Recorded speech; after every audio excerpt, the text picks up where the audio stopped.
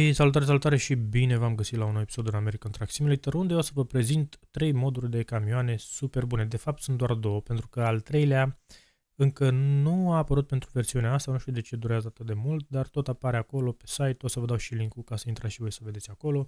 Sunt trei camioane, două dintre ele merg, iar Western Star-ul nu merge. Deci normal avem Kenworth, avem Peterbilt și mai este Western Star. Western Star uh, nu l-am pus pentru că nu merge primesc scratch de fiecare dată când încerc să, să îl customizez. Și acestea două merg. Deci avem Kenworth-ul acesta W900 care este un Kenworth puțin mai vechi. Este modelul W900, dar nu este modelul din joc. Este un model puțin mai vechi, este cu transmisie manuală. Uh, o să intrăm imediat și o să vedem. Și mai avem și Peterbilt-ul acesta 359 Asta este, dar văd că nu mai apare aici. Hai, Așa, și ăsta e la fel de customizabil, foarte mișto. O să intrăm imediat. O să le vedem pe amândouă în acest episod, da? Hai să intrăm aici la Kenworth. Numai să vedem așa un pic, să ne facem o părere, da? Deci este de la Outlaw, așa se numește modelul, Outlaw. Și uitați, avem cabine, da? Destul de mișto. Aici avem șasiuri, avem și cu trei axe pe spate. Foarte, foarte tare și cu șasiu mai lung, mai scurt, da? Avem aici niște motorizări, bine, aici eu am mai multe motorizări pentru că am niște moduri de pe Steam Workshop, dar oricum sunt destul de ok și motorizările standard. Aici cutia de viteze, nu ne interesează prea mult. E, și aici avem interiorul, unde putem să punem așa cu albastru sau cu roșu sau simplu. Da? Eu mi le-am făcut așa cu albastru. Și avem și câteva paint destul de decent. Avem suficiente paint care sunt customizabile, atenție, adică putem să schimbăm culorile. Deci nu, nu sunt predefinite, cum sunt la alte camioane. Ei, uitați, acestea nu sunt customizabile, doar acestea trei, se pare. Cele, a, și astea de aici. Să vedem asta. A, da, deci sunt, sunt câteva, sunt customizabile. Da, cele mai multe văd că sunt customizabile și unele sunt predefinite. Da? Arată destul de ok. Hai să punem și noi unul acolo, care o fi. Hai să vedem ce modificări avem. Observați, avem destule puncte, da? Deci putem să facem destule modificări, deci putem să punem faruri de care vrem. Deci și grilă, avem și grilă, deci e foarte, foarte mișto. Și bare sau bări, să spune, da? Eu zic că este destul de mișto. Aici putem să ne punem dacă noi luminițe. Dăm full chrome. Dacă dăm full chrome, ni se pune automat uh, farurile acestea standard. Da? Sau nu, a, e modern halogen. Sau aftermarket LED. Putem să punem. Da, destul de, de frumos. Ia să vedem. Putem să ne punem și aici. Da? Aici ca să punem LED-uri.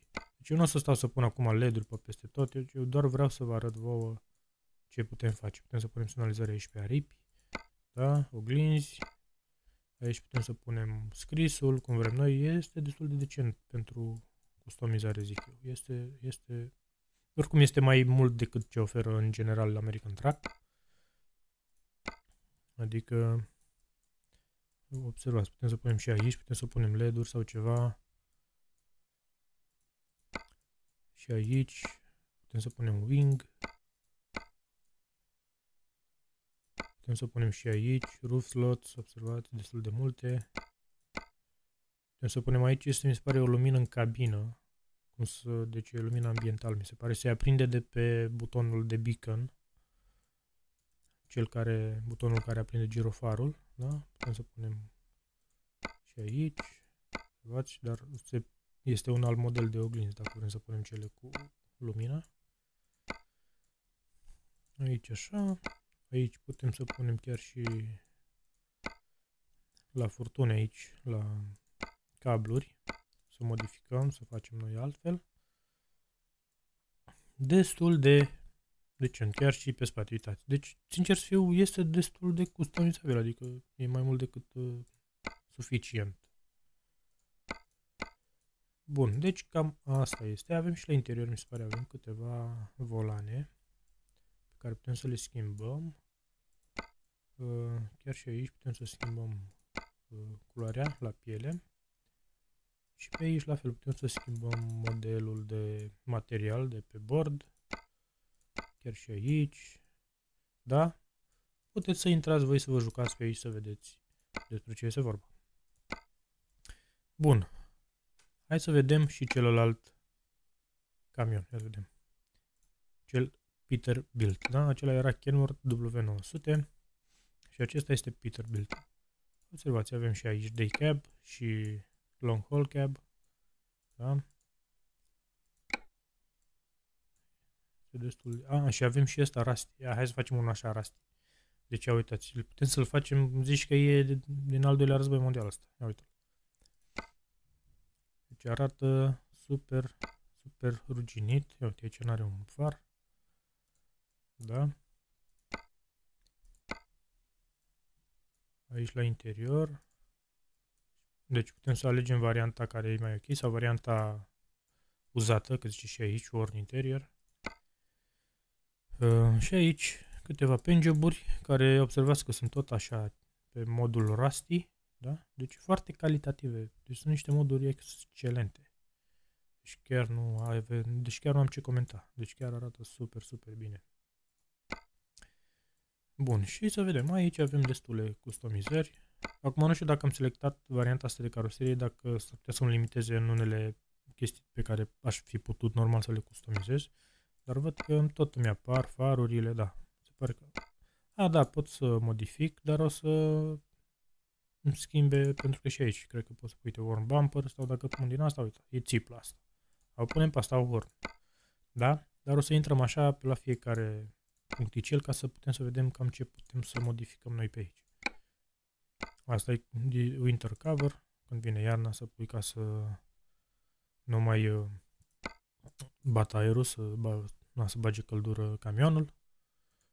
Aici avem paint sau cum vrea noi, dar dăm worn pentru că noi suntem cu camionul uzat. Asta normal ar trebui să dispară dacă noi facem camionul uzat. Ia să vedem. Deci observați, avem destule chestii, aer condiționat, roof slots, uh, cred că și aici mi se pare putem să-i punem, aici putem să punem niște reverse lights, da? Deci avem destule chestii, deci foarte multe chestii de făcut și aici. Chiar și pe spate avem orn sau avem acestea, observați, este super, super șmecher, da? Deci cam asta e în principiu. Ce să vă mai arăt? Chiar și la bord putem să schimbăm materialul din bord, dar punem worn dash and metal. Da?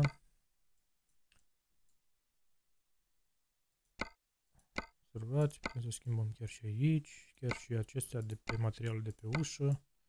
Foarte, foarte mișto. Bun, cam asta am vrut să vă arăt. Sunt niște camioane foarte, foarte bune pe care trebuie să le aveți uh, instalate. Și nu uitați să apăsați și pe butonul de like dacă v-a plăcut acest episod. Eu vă mulțumesc că v-ați uitat și vă doresc o zi minunată și să vă bucurați de aceste moduri.